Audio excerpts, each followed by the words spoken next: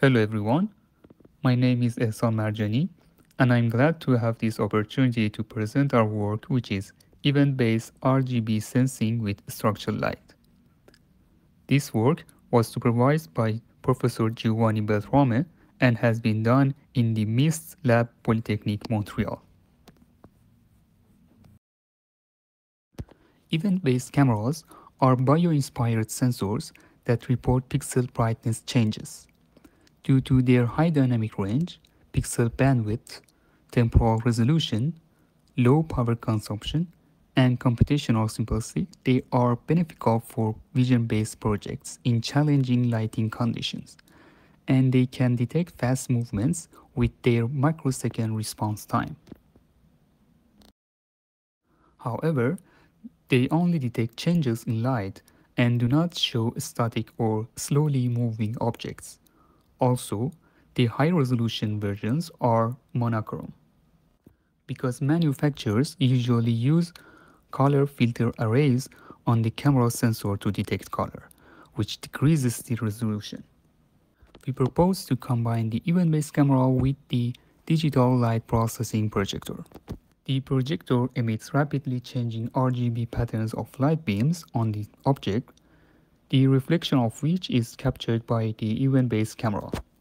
So we can generate full color events from a monochrome event-based camera with no loss of spatial resolution, with the ability to detect static objects, optimize the bandwidth of the camera by detecting the color when and where it is needed, pave the way for frameless RGBD sensing applications by emitting known patterns.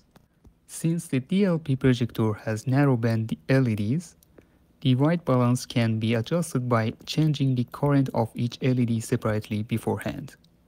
As this slide shows, the quality of the color detection of a printed Macbeth board increased by doing the white balance correction.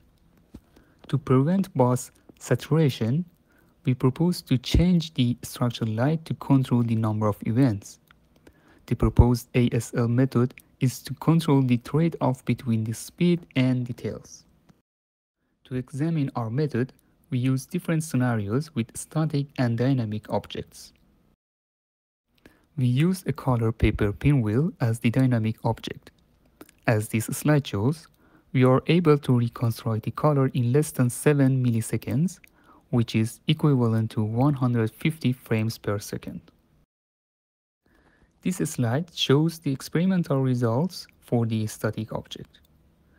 These two rows show that to decrease the color detection error, we need to decrease the coverage percentage, which can be considered as the percentage of details.